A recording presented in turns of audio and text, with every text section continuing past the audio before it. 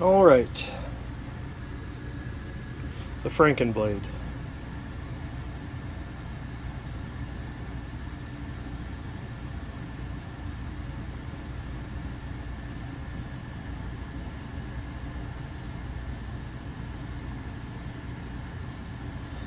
It's got plenty of clearance to the backspacer.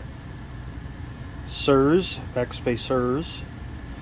the tip hides inside of the scales. Locks up good. Relatively centered.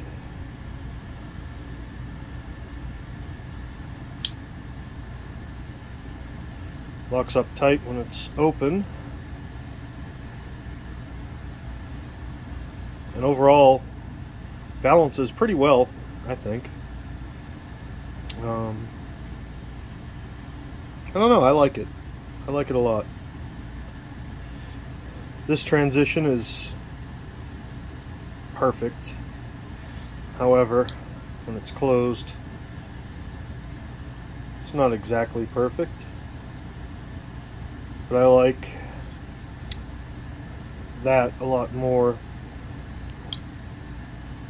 than I hate that enough to knock that corner off, you know what I mean? All right, so things that had to happen to make this work. 945 with a 555. Um, first off, the first thing that was an issue was, I could get this to focus, was this stop pin. This is not the stop pin from this knife, this is the one from the 555.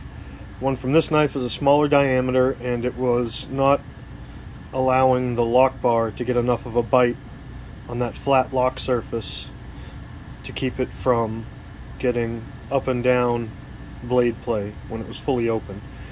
So in order to do that I had to uh, drill out the liners to accept the bigger stop bar. Also, once that was put in, this radius, not this flat lockup surface there, but this entire rolling radius around had to be ground down because it interfered with the lock bar. You couldn't get the knife past like there. It wouldn't, it, it hit. So I had to grind that radius down. And then this entire pocket in there where you can see all the rough grinding marks because it's not finished. Um, where this lock bar seats into had to be opened up so that it could sit down in there further because initial uh, the initial install it sat pretty much like that. Um, you can't you can't have that so yeah that had to be ground down and fit. Let me know what you think. Drop a comment. Hit me up. Ask questions. Um, yeah. That's it